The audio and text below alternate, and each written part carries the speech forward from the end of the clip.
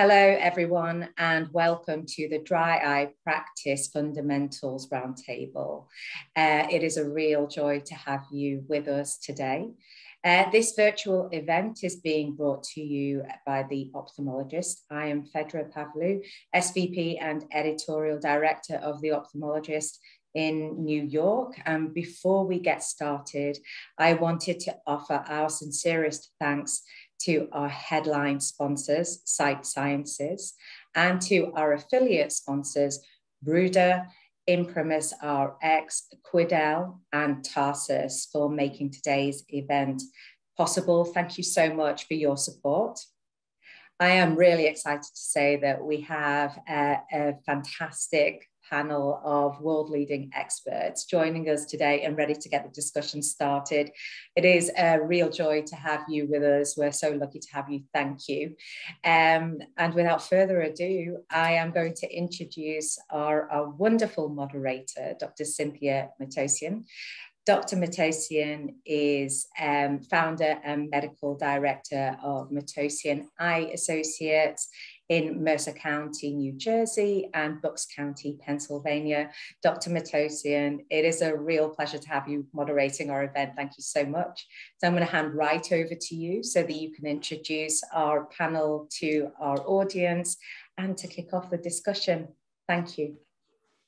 Thank you very much for that wonderful introduction. And I am so fortunate to be surrounded by amazingly talented surgeons, physicians here. So I'm going to go to each one of you to introduce yourselves. Eric, let's start with you. Hi, Cynthia. Eric Donnenfeld from Ophthalmic Consultants of Long Island. Absolutely a pleasure to be here with you. Thank you very much for making the time. Chris, let's go to you. Thank you, Cynthia, for having me. I'm delighted to be here. Uh, my name is Chris Starr. I'm uh, also in the New York area. I'm at Weill Cornell Medical Center, a cornea cataract refractive specialist. And Jai, let's go to you. Cynthia, thanks for having me. It's a great panel. And the ophthalmologist, thank you for your sponsorship for tonight. Uh, my name is Jai. I'm an anterior segment surgeon. I teach at the New York Eye and Ear. We have a large practice here at the Eye Care Consultants of New Jersey. Well, with that, we have um, not only amazing talent, but wonderful colleagues here. And we're going to talk about dry eye disease.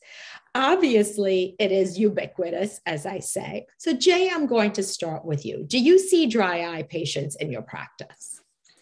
Do I see dry eye patients? of course, I see dry eye patients. That's good. You got the right um, answer. It's become a, a very big part of our, obviously, our medical practice. Um, it probably occupies in diagnosis codes up to, you know, 40 to 50, percent of all of our patients that we see either have primary dry eye or secondary dry eye. We also have a, a huge uh, cornea and glaucoma practice. And on the surgical front, you know, with all these great new lenses that have come out the last 15 months and getting plus 0.25 off the IOL master plus or minus 0.25, uh, measurements have become important. If you're not looking at dry eye, you're missing the boat. So both from a surgical lens and a medical lens, uh, dry is a huge part of our practice, and we're lucky to be in the middle of it here in Northern Jersey. Absolutely. Dry eye, as I say, is so common. Eric, I know you've done so many lectures on dry eye. So let's delve a little bit more. How do you define dry eye in your practice, Eric? Well, dry eye, uh, Cynthia, is really pretty difficult to, to just describe, but essentially an abnormality of, of the tear film in which the quality of the tears is abnormal and patients have dry eye symptoms associated with it. Uh, in general, in the past, we kind of looked at dry eye as just being aqueous deficiency, but now we realize that meibomian gland dysfunction plays a more significant role and is probably responsible for the great majority of dry eye we see in our practice. So it's when either aqueous deficiency or meibomian gland dysfunction, or most commonly both, mm-hmm. uh, occur in a patient that disrupts the normal quality of the tear film that creates dry eye symptomatology. Very well said.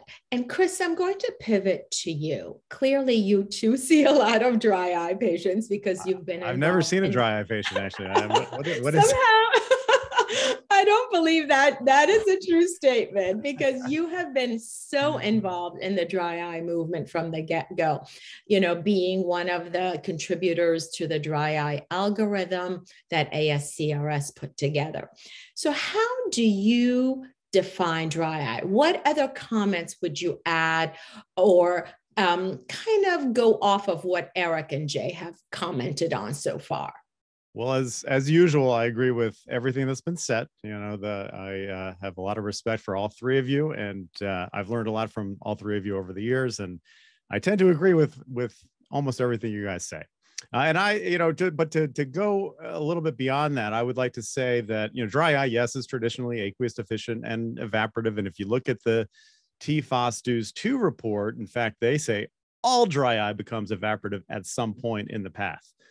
Uh, so, you know, but that's dry eye disease. And I think one of the biggest misconceptions that, uh, and that has led to a lot of the frustration and confusion and all of the, the conundrum in this area is that there's ocular surface disease, which is very similar to dry eye disease. In fact, you know, with the similar symptoms and in some cases signs and there are a lot of subtypes of ocular surface disease that is mislabeled as dry eye disease and treated as dry eye disease and that leads to patients being frustrated because they have some other condition that sounds like dry eye disease but isn't.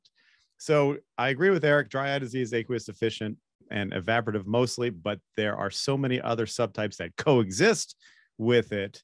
Rarely does dry eye disease live in a vacuum with no other forms or subtypes of ocular surface disease. And it behooves us as clinicians to try to find dry eye disease and, and grade it and assess its, you know, whether it's evaporative, right? But also to find the other subtypes of OSD that are contributing to that patient's symptoms and treat them all.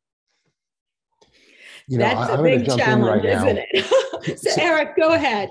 Cynthia, if you if you mind, um, what what was just said by Chris is really very important in that we so commonly diagnose people with dry eye, and many times it's not aqueous deficiency or evaporative dry eye. It's actually some other form of ocular surface disease.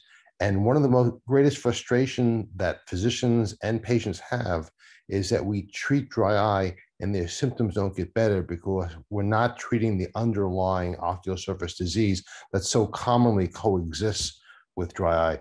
And the biggest issue that I have in patients who return to our practice who haven't responded to therapy is that we're treating the wrong disease.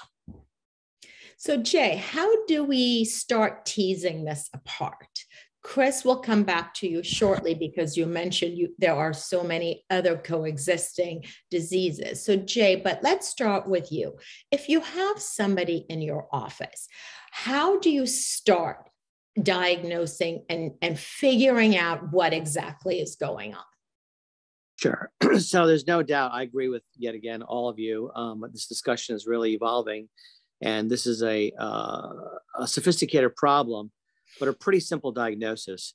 So I just go back to the Hippocratic Oath first, do no harm, but also listen to the patient. So our texts are a very big part of diagnosing dry eye, teasing it out of the patients and we all check vision as our as our pulse our heart rate as our vital sign and eye care. And if that vision is fluctuating every patient now is screened for fluctuating vision every patient.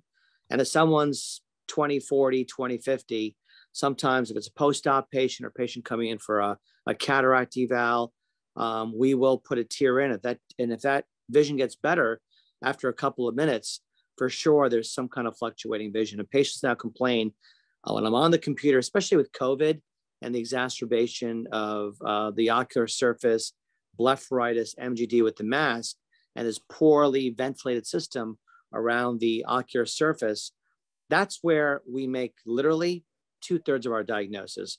Our techs uh, in a digital format do a really good job at teasing that out. I go in the room, I'm smiling, rather loquacious, looking at the patient, look for signs, look for lid abnormalities, look for hyperemic lids, look for telangiectasias, you know, overt MGD, uh, look at the conjunctiva, is it hyperemic? And then obviously when I'm at the slit lamp, I will use tear breakup time, tear meniscus, and then some of the exotic stains with fluorescein, rarely rose Bengal. I like rose Bengal academically, when I'm teaching at the New York Eye and Ear. For sure, we talk about it all the time. But I'm a big fluorescein guy. I just look at the quality of the tear film and the ocular surface, as Chris mentioned so well, begins at the level of the lids.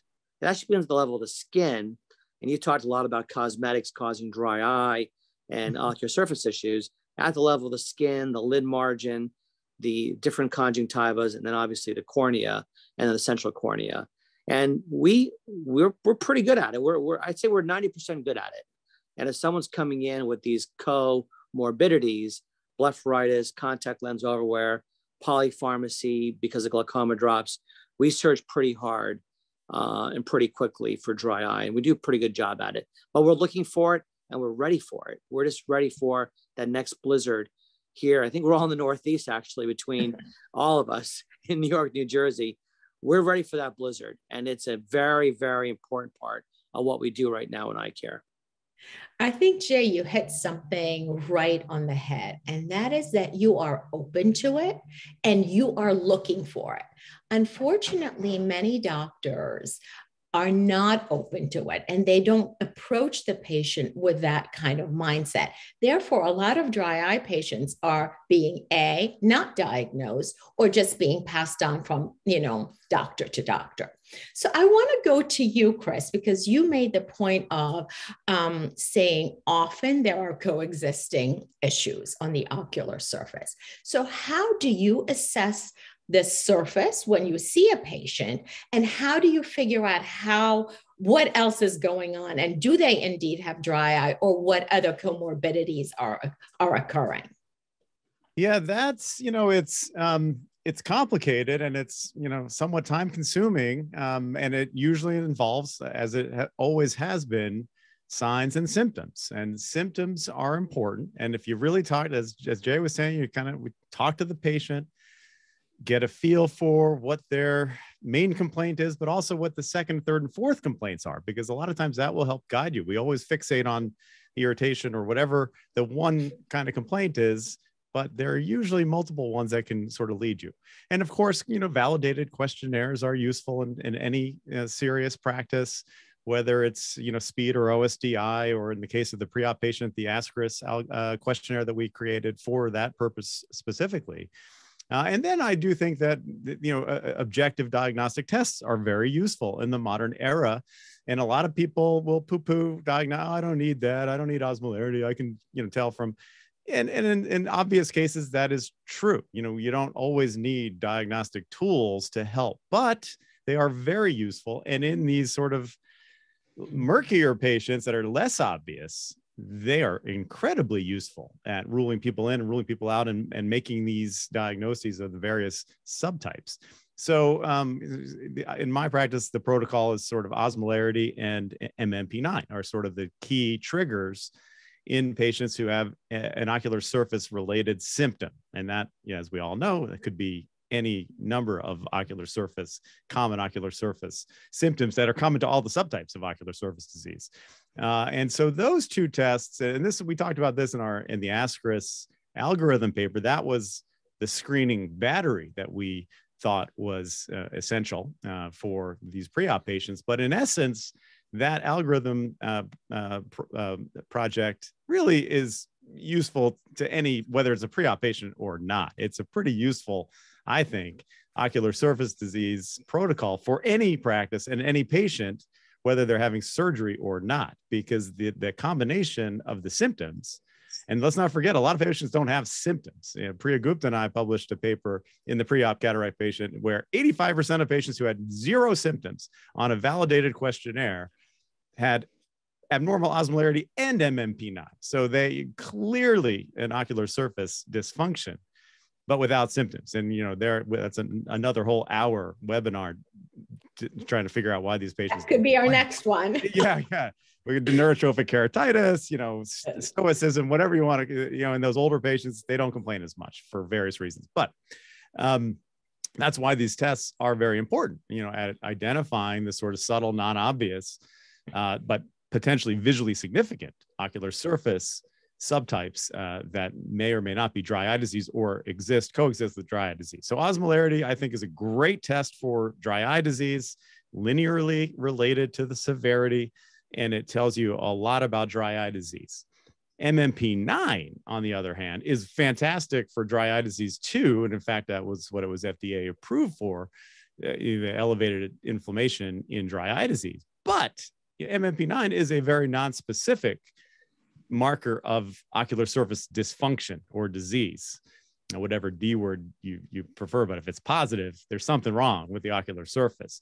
And if osmolarity is normal, let's say, but MMP9 is abnormal, well, maybe that's a, one of these masqueraders or co you know and this is also leading to a lot of the confusion in this area is that what is we we all have different terms dry eye disease is it dysfunctional tear syndrome or dry so uh, is is a non-dry eye uh, ocular surface subtype uh, a co-conspirator or a masquerader or a non-dry eye subtype of, of OSD. You know, I who knows, but you know, we all you know we're all on the same page we know what we're talking about, but we don't have unified terms for these things. But nonetheless, I, am digressing, but we have an hour.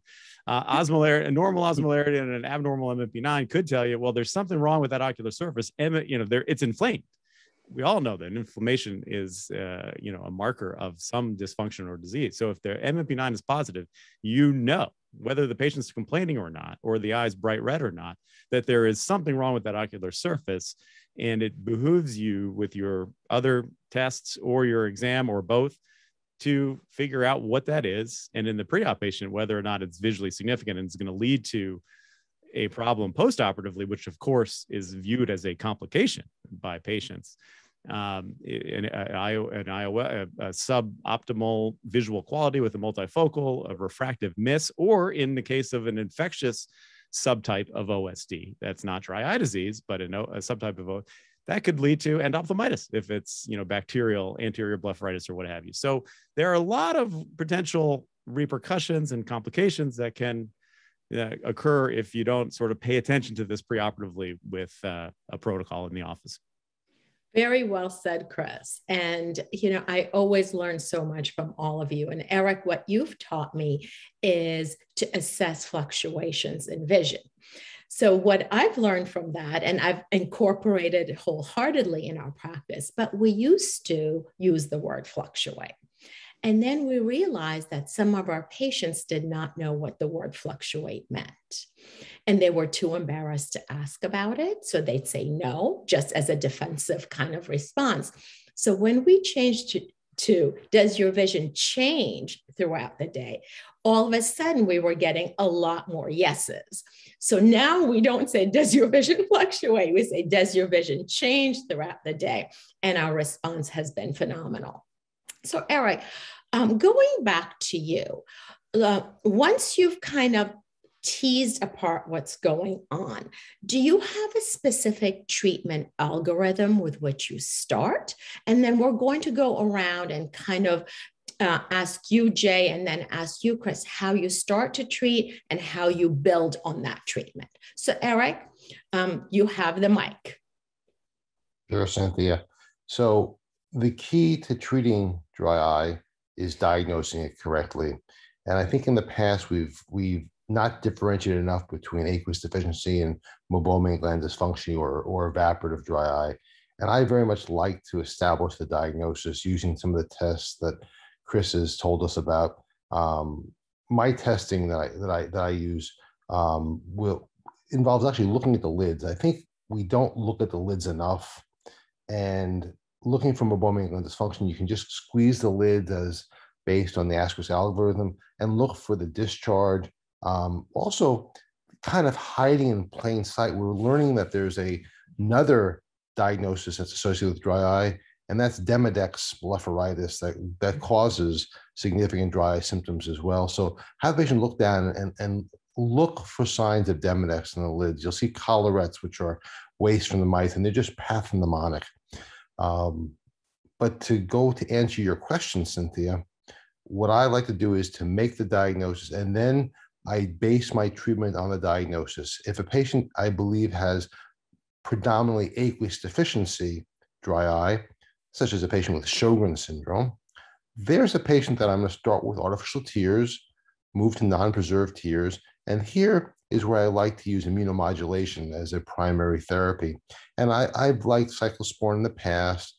Um, right now, I kind of tend to more use um, lifitegrast or Xiidra, and I will pre-treat my patients with a corticosteroid, usually feeling that that combination of immunomodulation makes the patient more comfortable. Patients don't like therapies that don't provide rapid relief and cause uh, irritation, foreign body sensation. And unfortunately, both cyclosporin and lifitegrast both have very high incidence of irritation, and they also um, don't respond immediately. So by adding that topical corticosteroid, I think you've gone a long way.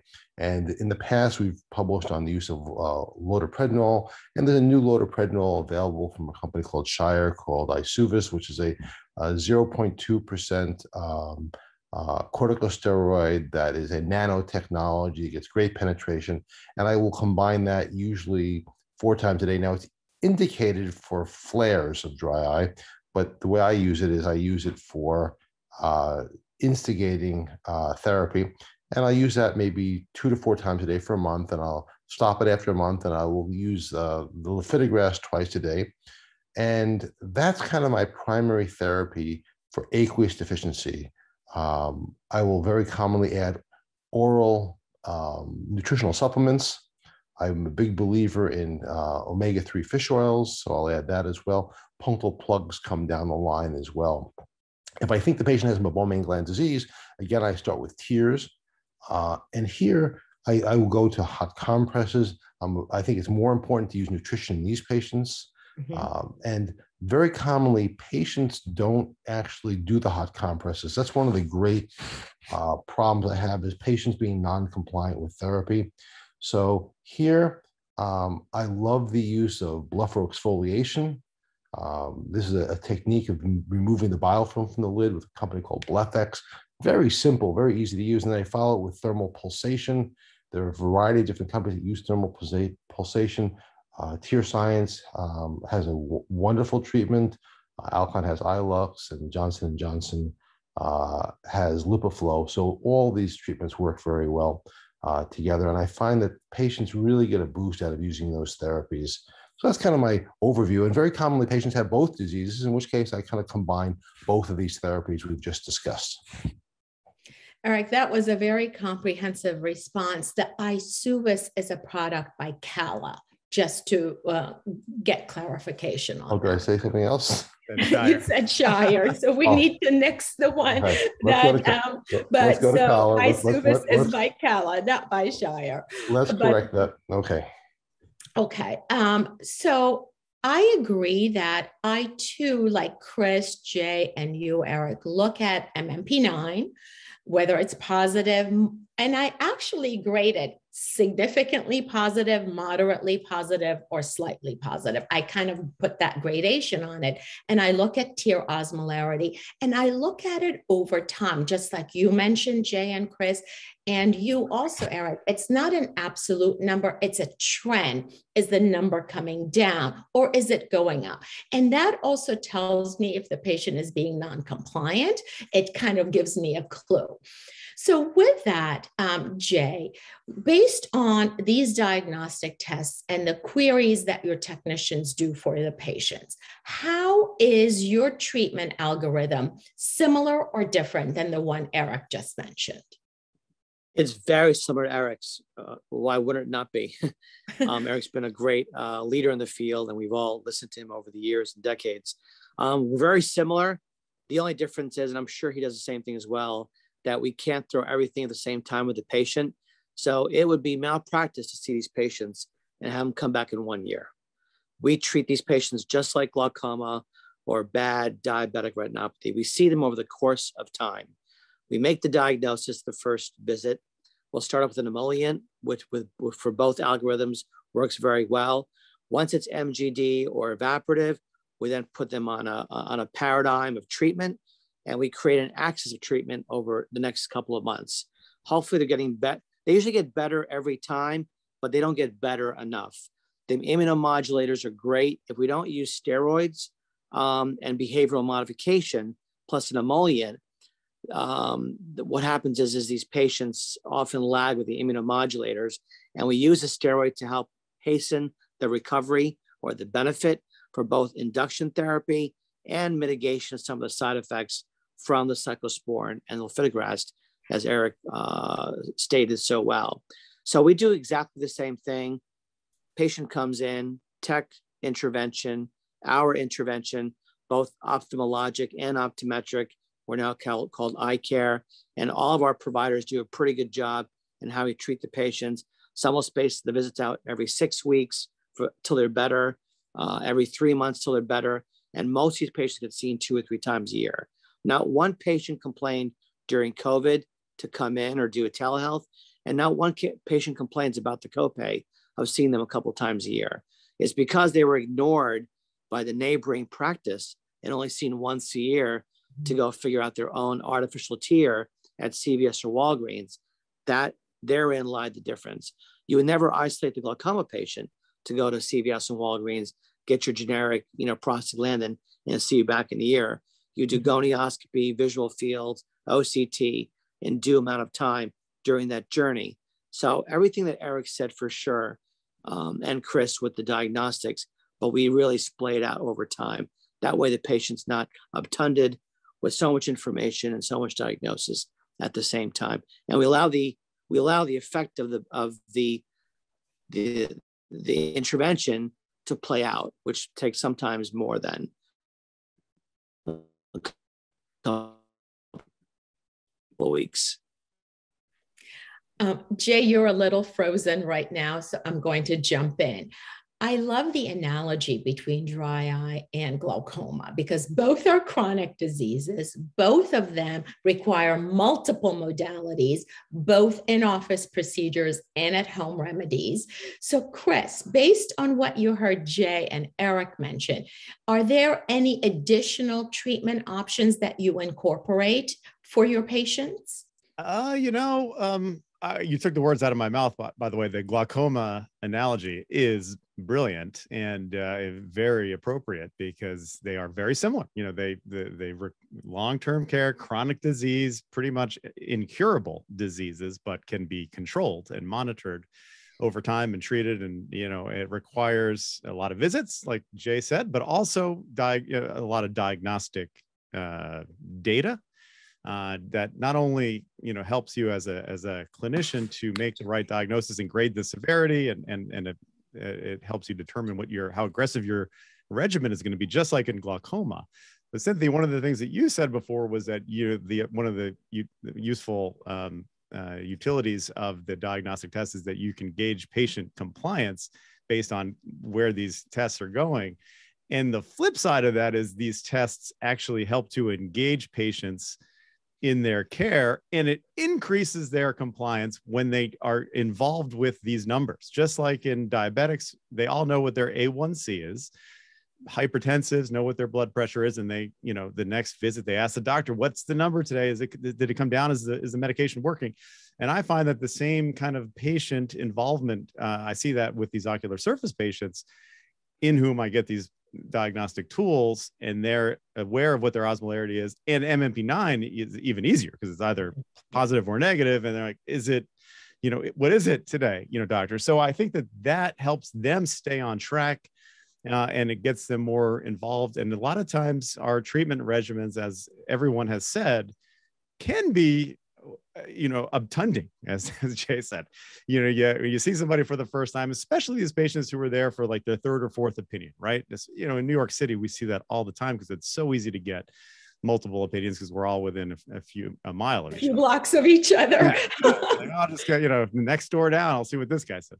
Um, so um, you know we see these patients who have been undertreated or mistreated uh, by doctors a lot of the time, and they're suffering and they feel frustrated and they have real advanced disease and they're on maybe a preserved artificial tear only, maybe a warm compress, uh, and they're suffering and they're getting worse. And so in those patients, you really do want to treat pretty aggressively up front, whether they're surgical or not. You know, the, every patient with advanced disease deserves that sort of multifaceted, aggressive kind of treatment, and that usually involves multiple things all at once. And it can be overwhelming to these patients. But you know, the that combination of a steroid, uh, uh, uh, warm compress, an immunomodulator, maybe a plug if they're not inflamed, uh, all kind of up right up front. Um, you know, we'll get them better as quickly as possible, and that is going to lead to satisfaction. And these patients finally breathing a sigh of massive relief.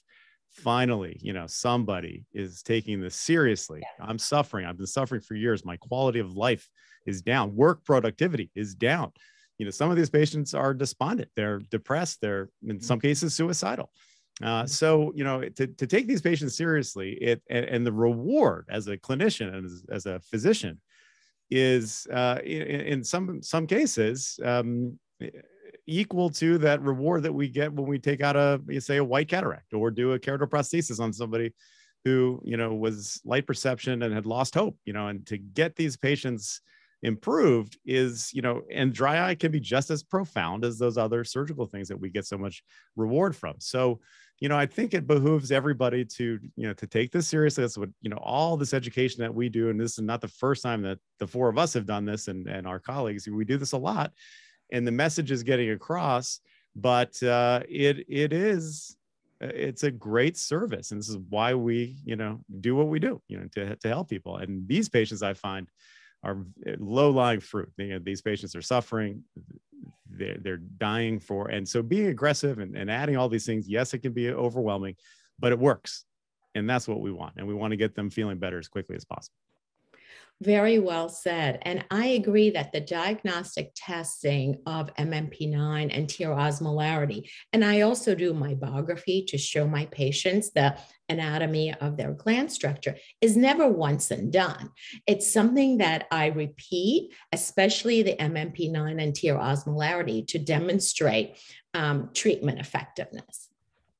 We know, Eric, that chronic disease um, equals non-compliance very often because patients don't like to do something forever. And we're asking our patients actually to do a lot of things.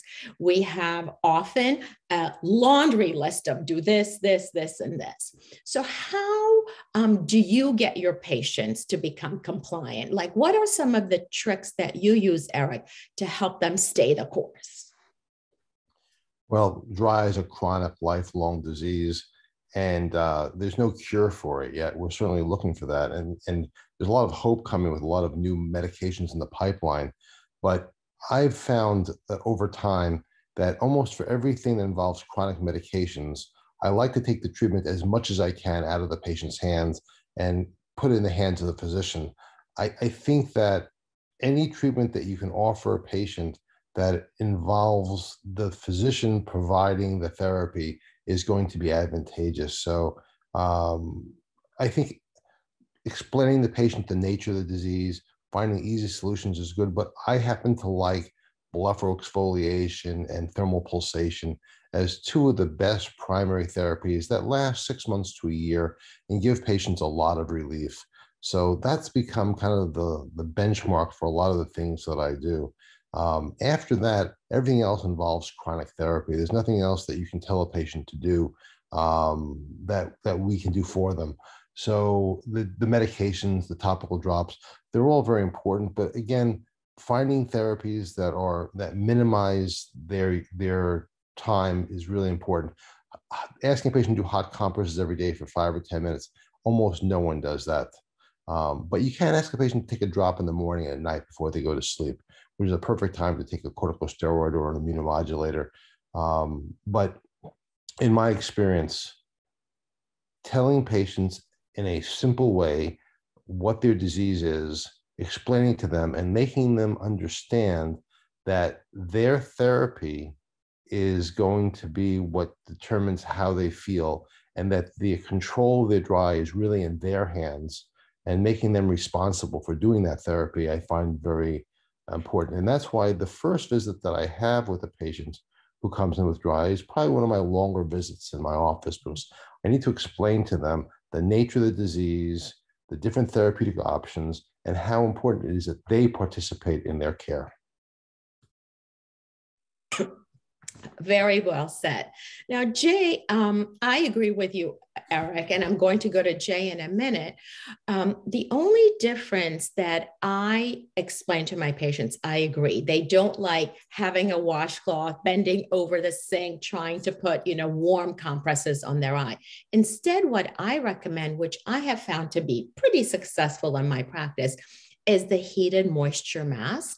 Um, the one I recommend is from Brüder, and it stays hot long enough after it's been heated for 20 seconds in the microwave. And actually, my patients really like using it before sleeping because it kind of relaxes them. So that one often becomes a popular item. So, Jai, we know that MGD is one of the you know main causes of um, ocular surface disease do you offer impromptu treatments in the office for these patients? Do you schedule them to come back? How do you like figure out to whom to offer a procedure on the spot and for whom to recommend a treatment? And what are some of the treatments that you recommend for MGD? So again, I do believe believe in the warming of lids for sure. I think MGD is still underdiagnosed a lot of folks that think they are sophisticated think everyone has evaporative. And as you go that decision tree, there may be some overlap, but patients aren't getting better. Chances are there's MGD, and as Eric said, you probably have not spent time examining the lids. So again, let's go back to the analogy of glaucoma. And when do you offer more drops? When do you offer SLT? When do you offer MIGS if they have cataract or no cataract disease? Well, it's such a great time in glaucoma to have all these things in our armamentarium. So there's an aspect on dry eye, which I call interventional dry eye, and we'll do all the things you've spoken about. And again, we haven't spoken about plugs here, but we don't plug the first time we see them. if the tear film is inflamed, uh, the tear osmolarity is out of whack, the MMP is out of whack, we take time to help mitigate the inflammatory burden on the ocular surface. Then we'll plug up that good quality tear film versus the bad tear film. if MGD is a big part of this, yeah, you could use a hot spoon or a warm compress. That's not sustainable. We always use Brüder mask for sure. Um, we s- sell dozens of those every week in our practice. But at that point in time, if the patient's still not getting better, you look at the lids, there's dropout of the meibomian glands and so forth. They need something more. There's a lot of cool technologies out there we are big fans of, uh, of Sight Sciences TearCare system. It's really easy to use. The techs love it. The cost burden is not high for either the practice or the patient.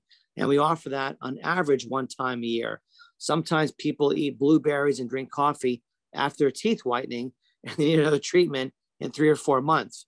Maybe 20% of our patients get some kind of warming and clearing of the lids uh, twice a year. But more often than not, They'll get once a year of these treatments. Uh, again, it's affordable. We do 20 minutes of warming, five minutes of clearing, led by the surgeon and or the optometrist. Patients do very well, but we don't abdicate the behavioral modification, the immunomodulators, the emollients, and the steroids PRN. Again, it truly takes a village in taking care of the ocular surface. And when you start thinking about MGD in a precocious way, more often than not, your success rate for overall dry eye will be 90% plus. And like oncology or heart surgery, you're not going to be successful in 100% of your patients 100% of their times. But if you can make them better than what they've done before, therein lies, you know, the sweet spot. And again, so we've gone to more of an interventional aspect uh, the last several years, a lot more during COVID. People have some expendable dollars and we're able to afford them, you know, an interventional aspect to dry eye like we have for glaucoma. Very well said. And Chris, one of the um, acronyms that you came up with is LLPP. So maybe you can tell us about that in conjunction with blepharitis. And Eric alluded to the collarette. So let us know what LLPP stands for and what you're looking for. Yeah. So, you know, so uh, we were talking about this sort of algorithm protocol before, and that upfront involves some of the diagnostic tests that is usually done by technicians. And, and I think, you know, every practice is different, and some practices do a lot, some do none. uh, and some do somewhere in between. So, you know, our practice, osmolarity MMP9 is fundamental. Um, and then meibography, usually in somebody with known MGD or high suspicion or somebody who's following up, and I put in the note, you know, get meibography next time, or non-invasive tear breakup, um, uh, or an OCT of the meniscus. Those types of things can be done.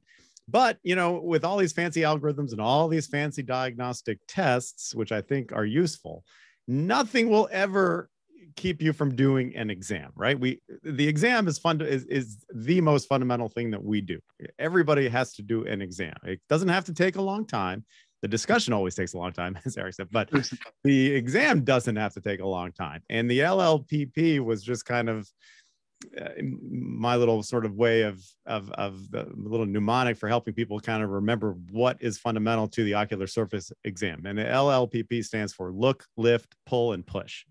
You, you look, of course, you look at the ocular surface, the the the eyelashes, the the the, the lid margin, conjunctiva, the interpalpebral, um, uh, cornea, and conch, and then the lift is lift up the upper lid. Okay, because this is something that is easy to do. It takes a second, but is often not done and a lot of pathology is missed if you're not lifting up the upper lid and looking at the superior cornea, the superior conjunctiva. There's a lot of stuff up there. And in the case of the pre op patient, EBMD is up on that superior cornea a lot of the times and can lead to irregular astigmatism and IOL issues if you're not if you don't find it. Uh, but then, very importantly, the uh, the LL look lift and then pull, which is kind of assessing lid laxity. The, the, floppy eyelid syndrome and, and eyelid laxity issues is another one of these sort of simple things that is one of these subtypes of ocular surface disease that we were talking about in the beginning. That's not dry eye disease, has very different treatment and very different source of symptoms. Uh, but uh, is often called dry eye because you don't lift, you don't assess laxity. But you know, so that's the the the pull part of it, and then push meibomian gland expression again very fun you don't you know i think meibography is very useful and non-invasive tear breakup time is very useful but you know pushing on a, a meibomian gland and expressing the gland takes all of a half a second and gives you almost as useful information as those tests will give you uh, and it's free you just use your finger and touch or a q-tip as or, long as you have a slit lamp right exactly yeah you, you need a slit lamp for that yeah but and there's um, so much you can see, right, by looking at the base of the lashes, Chris. And if you see that pathognomonic ring, it means what? Uh, you mean the collarette? Yeah, the collarette. Yes, yes. So the so the certainly a, a collarette at the base of the lash is pathognomonic for Demodex Demodex, what, however you say it. Um, I usually, usually say Demodex, but that is Demodex blepharitis until proven otherwise. And you actually don't need to prove it otherwise anymore because, you know, you know, no, nobody needs to pluck lashes and look at under microscopes anymore because the studies show that that is pathognomonic for Demodex blepharitis. And there has been some talk, you know, be, what you could make the argument that by looking down in our LLPP, it was look, look, and then lift up but by having the patient look down, usually those collarettes are much more identifiable on the upper lid and much easier seen by looking down. So maybe we'll adjust that mnemonic to the LLL something. You Don't make up, it too down. complicated. yeah, yeah, exactly. Because we're uh, fortunate that a new product is going yes. to be available shortly. Eric, maybe you can tell us a little bit about that. Well, Tarsus has a product called Lotilaner, which is a neurotoxin that's specific to uh, to mites Demodex. And, you know, I kind of thought that that mites were something that was just a commensal organism that really didn't really cause much damage. But the results of the Tarsus, Tarsus studies, uh, uh, recent ones that were just published, the phase three trials, really point to overwhelming uh, evidence that Demodex plays a very significant role in dry eye disease. And you know, for decades we've noticed that it's there. We never really paid much attention to it, but the results of these trials are uh, extremely positive, and we're looking forward to having FDA approval of this drug, hopefully uh, in 2023 or so. Um, and it, it, it's very well tolerated, and the, the trials um, results are just outstanding. So that's just one of the new, very exciting drugs that's coming to us for managing dry eye disease. We're very excited to have that um, as one of the products in our armamentarium to treat dry eye. Jai, one of the things that we have heard about is that that dreaded phone call back from the pharmacy saying that the patient's insurance does not cover or that their copay is so high the patient is refusing a branded, let's say, immunomodulator. When you hit a roadblock like that, what alternatives do you turn to to help the patient get some relief? That's a great question and the biggest conundrum in practice management. Uh, we assume everyone gets all the products we prescribe, um, and it's really, really tough, especially for those of us that have a poly approach or a polypharmacy. Um, you know, sometimes it takes a lot of drops to control pressure. It takes a lot of approaches to take care of the ocular surface. So you're right. A lot of the insurance companies want to see stepwise therapy. A lot of the insurance companies won't, won't cover branded therapy. Now you have generics in an emollient or some kind of solution that hasn't been tested uh, with the FDA and, and great, thoughtful, you know, phase three pivotal trials. And now you're doing more harm than good. So if all else fails, we, you know, try to give patient samples for the short-term therapies. But how much samples can you get, especially this time of the year when we're all busy, but you know, um, inventory for these companies is really little, and so forth. How many coupons can you give out, right? Um, it's just really oh, sorry. It's just really it's really interesting. Cute dog. so, we'll, we'll do we'll, we'll do everything possible. Sometimes we have to switch from restasis to lifitegrast this steroid to that steroid generics and so forth. Uh, it is truly a circus act. Um, i'm not going to give you the solution here. We don't really have the greatest solution. We do have sharpshooters in the practice that will help the patients. I always have two full-time staff that deal with callbacks and pre-authorization. It's a pain, but again, uh, we took the Hippocratic Oath to take care of patients, and the worst part of the practice is dealing with this. So we'll, we'll we are very open to all the companies, all the solutions. Uh, some of the pharmacies uh, are very tough with us. They'll try to help us out. They'll do pre-authorization themselves. Companies like Imprimis uh, and so forth have other, you know, cash-only modalities for patients that are actually cheaper than some of the products we've talked about. And oftentimes with 30, 40, 50 bucks for monthly therapy, if the therapy works, the patient will use it. So mm-hmm. we use all of the above, whatever tactic it takes.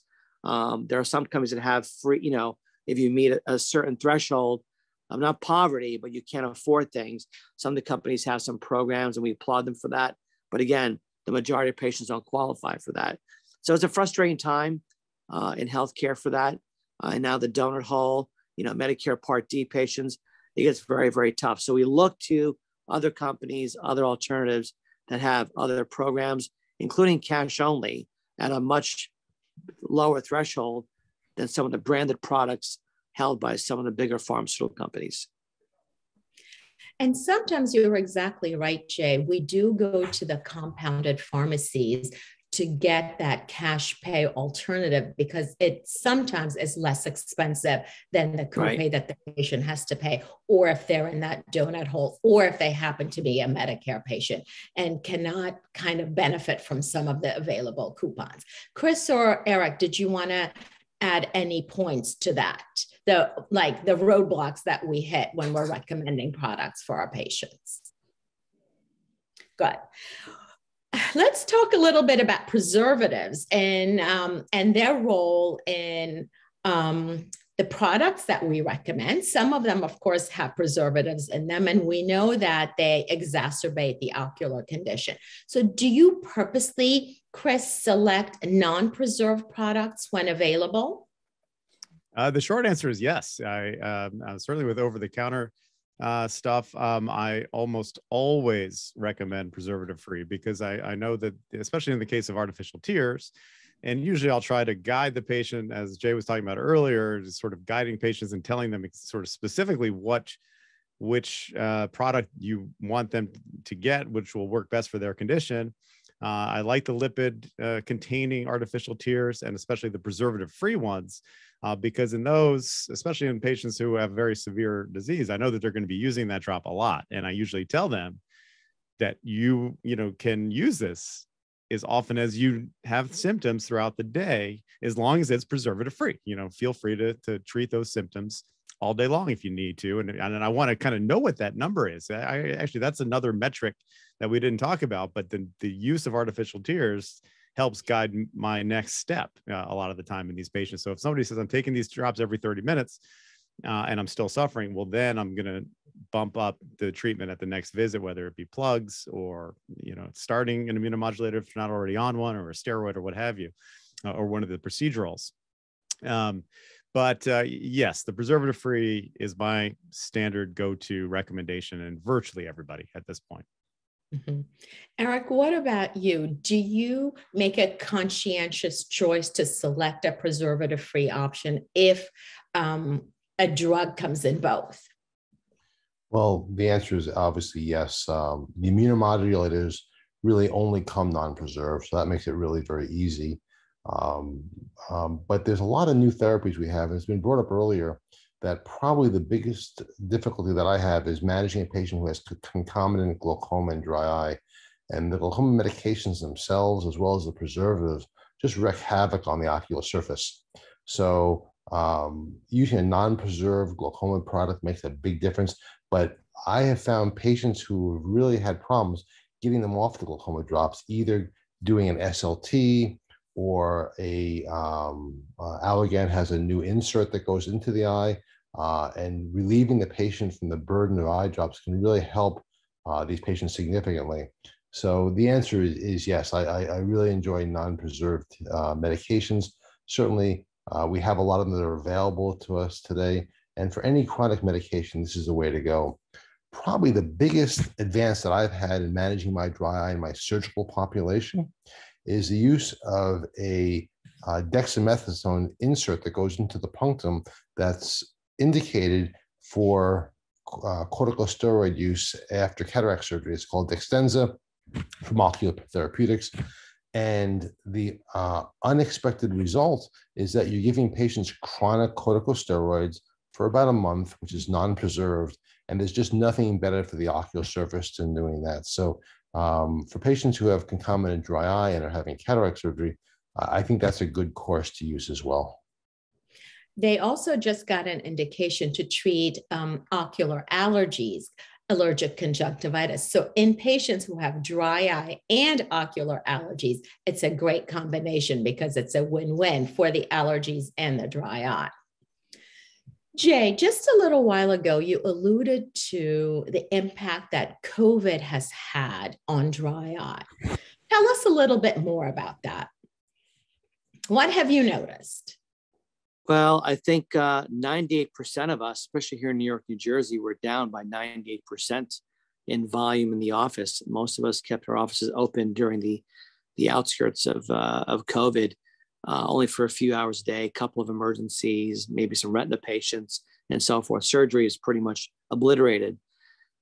What kept us buoyant were the phone calls coming in for glaucoma drops, renewals, what about my pressure, uh, and so forth, and the ocular surface. Either A, people were on the Zoom calls all day long, having computer dry syndrome, exacerbating their ocular surface, not blinking enough.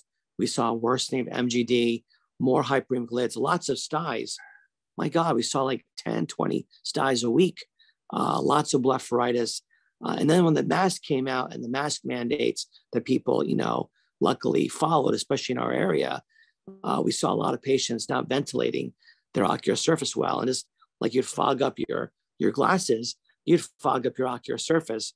So we saw an exorbitant amount of ocular surface disease from all the things that have mentioned been mentioned on this call, predominantly worsening of dry eye, worsening of allergy. Allergy was worse, maybe not the nasal symptoms because they were wearing a mask or the respiratory symptoms, but an allergy season, because they had a mask and a poorly ventilated ocular surface, it was horrible. So we've seen an exacerbation and we've locked in those patients and we've grown our practice. Our practice, two biggest growth drivers the last year and a half, exacerbated by COVID and the, the, the commerce of COVID, have been glaucoma and ocular surface but ocular surface for sure uh, has grown leaps and bounds because of COVID. And this mask and the fact that people like we are the last hour have been staring at each other on Zoom calls and so forth. Yeah. Some folks are on it professionally, six, seven hours a day. Some people are bored and or watching Netflix or you know, um, you know, Ted Lasso for three, four hours on their iPads, and they're not blinking. So yes, for all the above, a big growth opportunity and growth driver for practice. We just hired an optometrist a year ago out of fellowship, and she's been so busy taking care of the ocular surface patient and those comorbid diseases that we've talked about earlier in the hour. Chris, have you seen an increase in um, New York City, the epicenter of COVID, in terms of mask wear and exacerbation of dry eye, similar to what Jai uh, was commenting about? Uh, yeah, one one hundred percent, and it's multifactorial, as Jai was saying. A lot of it is the computer and the computer vision syndrome and staring and not blinking. And it would be, it would be an interesting study to to to to go through these videos and actually measure. We we can measure our our blink rates. Our right? blink we, rates. Yeah, that that's. Uh, I'm I'm going to get a. That's your next study, Chris. I can see it. it would be so easy and the, the amount of data that we could generate from a year and a half of zoom calls would be uh, phenomenal but um, yes that's part of the problem and of course you know we do i've got a fan in here blowing and i you know i'm trying to direct it away from my eyes but occasionally it hits me in the eyes and I can feel my contact. I mean, it's, it's, you know, it, it happens to everybody and, and we can all relate to this because it happens to us too. Um, but also the masks, um, uh, not only do the masks, you know, the, the air blowing back into your eyes, it's almost like, you know, it's like having a fan, you know, when you're breathing and, and, you know, moving air is hitting your eye from your mask. I mean, it is, it's like having a fan on in your eyes all day. That, that that's unique and to the post-COVID world. And then also a lot of times when people put their, and this happens to me too, you put your mask on and like the mask hits your open eye, right? So you're mm-hmm. getting like micro erosions all day too from uh, from the mask and the dirty mask. Or the mask rides up. Yeah, and it rides up, or you look down and you mm-hmm. get you hit it. You know, mm-hmm. it's just not good for the ocular surface. Uh, and about the only good thing that has come from the post-COVID uh, era are people looking to get out of their glasses, right? So the at least refractive surgery volume has gone up because nobody can stand wearing glasses, you know, and masks. So that that's been a good thing. But everything else has been terrible. And there have been a bunch of um, different theories to hypothesize why chalazion and hordeola have become so common. Eric, what do you think is the like main cause or the main culprit? Well, I, I think that um, chalazion are uh, related to the normal lipids not melting at body temperature. And I think that there's an epidemic in our country of poor eating habits, which is kind of the the linchpin to why patients are getting more more chalazion, that they just don't consume enough uh, unsaturated fats. They don't have enough omega threes in their diet. But in addition to that, there's a lack of blinking that takes place, and the reason that patients don't blink as much is they're glued to their computers and cell phones and uh, uh, smart devices.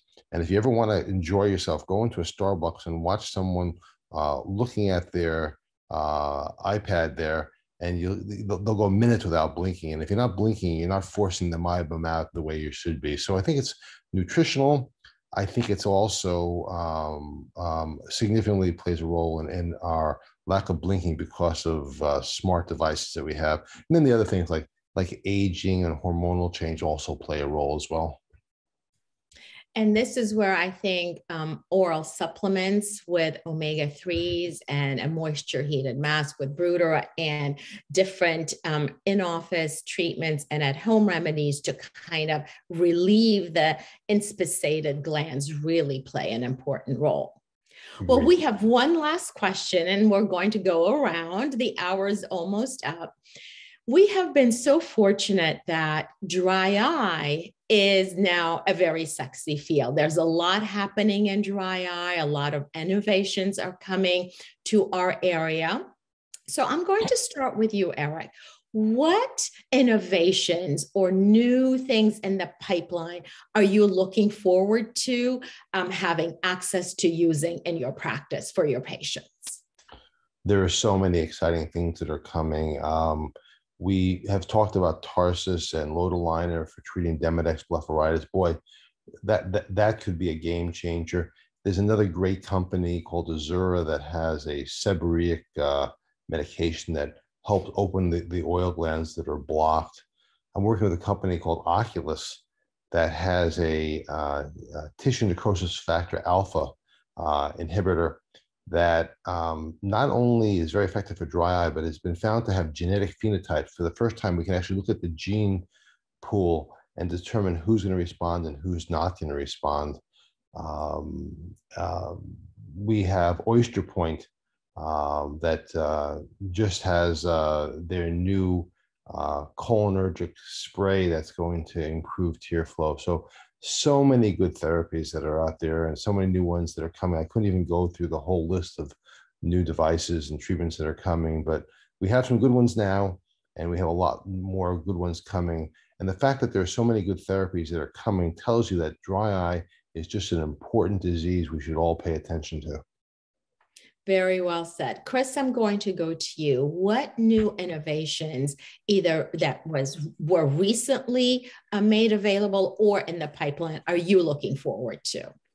Yeah, yeah, I would echo everything that uh, Eric said. I do think that uh, the Tarsus product is uh, especially uh, exciting because Demodex is a very, you know, right now we have no really good treatment. Um, and it's a very uncomfortable topic to bring up and to make the diagnosis and, and talk to patients about having mites in their eyelids uh, never a fun thing especially when you don't have a good treatment for it. Um, so that's exciting and, and, as eric said earlier the, the data looks quite good there. Uh, the oyster point nasal spray i think you know it's it's approved. Hooray hurrah. You know that's fantastic. It's brand new uh, so i don't have a lot of clinical experience with it yet but uh, extremely thrilled to be able to offer that to patients. Another sort of paradigm shift in the area and another sort of not very novel, very different treatment for those patients who may have maybe failing you know the traditional more traditional treatments. Uh, so that's a big one. And then of course the the pipeline and that is, one can be used with contact lenses in place correct? That's right. That's yeah, a that's, big advantage. So go ahead. That's one of the few things we have. Yeah. Uh, and then you know i think um, the pipeline as eric was saying is is in, in insanely robust. In fact it's very hard to keep track of all these things. You need to have a phd to kind of remember all these molecules and what they do but I do think the Oculis, I think uh, Aldeyra has a very um, uh, promising uh, drug in the pipeline for both dry eye and allergy. Uh, you know, the same product for both. Um, the Aerie uh, company has uh, something that works on cold thermoreceptors of the cornea and can modulate uh, in a novel way, you know, uh, treatment for dry eyes and maybe pain sensations as well. Uh, so, um, and then there are a zillion others, which I'm, you know, uh, I'm probably forgetting, but the, the pipeline is robust. The area, you know, it, it just goes to show you how exciting this, you know, I, and I think ocular surface disease really is a unique subspecialty within ophthalmology. I mean, it, there's so much going on. There's so much coming there's so much to learn and and to know and to adopt and to eh, that you know to to really do it at, at one of the at the highest level you almost have to dedicate yourself uh, or somebody in your practice. Um, but it's it's it's fantastic which is why i love this so much and and the, the pipeline is is is tremendous I agree. I believe it is a subspecialty unto itself, just like glaucoma. You yes. really can be passionate, and the reward, like you mentioned, Jai, is huge. And you mentioned, Chris, for the patients who come in so, so burdened by their or despondent actually with their dry eye symptoms. And if you help them, the reward is incredibly strong. I agree. So, Jai, you're um, the last in this cycle. Any specific products that you're excited about down the road? Well, we're talking about disruption. I think Eric and um, and Chris have done a really good job at, at delineating some of the companies that are out there on the pharmaceutical space. Uh, I'm also a big believer in access to care. So I, I definitely want to see um, more interventions out there besides the pharmaceuticals. There's almost so much pharmacy you can do on the ocular surface. So hopefully some more devices that come out, a more of an interventional aspect. But again, only affording that for four or five patients a week for us in our practice is not enough. We have to have managed care and the insurance companies creating that disruption, allowing more patients to access the care that we give and innovation in our offices. Um, so for me, all the drugs they mentioned are great. Um, and I see that, you know, inflammation used to be a steroid, then as an immunomodulator, but some of the companies that, that the two have mentioned really target some of those inflammatory medias that are, that are specific for that. With that's going to come more point of care diagnostics and looking at all the things that cause it and maybe using some AI to identify that 58 year old golfer that has red hyperemic lids. Is are AI systems that'll help us identify quicker and precociously what kind of disease they have, then afford a good treatment, maybe pharmaceutical, maybe interventional with good access to care. That'll put us in a better place. I think Ocular Surface right now is the iPhone 6 uh, where it should be. We could be the iPhone 14 or the iPhone 20. So bravo to the industry for supporting these great conversations, uh, the innovation we see at all the meetings, the myriad meetings a year. And I think uh, as long as there's demand and patience and consumerism, uh, there'll always be innovation in the market. And we look forward to all of us and our colleagues out there in helping spearhead that. Great. Well, with that, I want to say thank you to Eric, Chris, and Jai. Great comments. I've learned so much from all of you. And thank you to our sponsors to make this happen. thank you to the ophthalmologist. Thank you so much. Thanks to all of you uh, so much for taking the time uh, to, to kind of join this uh, debate. It was a fantastic discussion. Thank you. Thanks again to our sponsors, Sight Sciences, to Brüder Imprimis, um, to Quidel and to Tarsus. Thanks for your support. Just want to remind everyone that this roundtable will actually be available uh, to anybody uh, who wants to revisit any of the topics of discussion. Today it'll be available on the ophthalmologist website. We are also publishing an ebook, so make sure you're registered to receive emails from us and watch out for that in your inboxes. So uh, the only thing that's left for me is to say thank you again to our wonderful panel for a fantastic uh, discussion and to wish you all goodbye and thank you from the ophthalmologist. Thanks.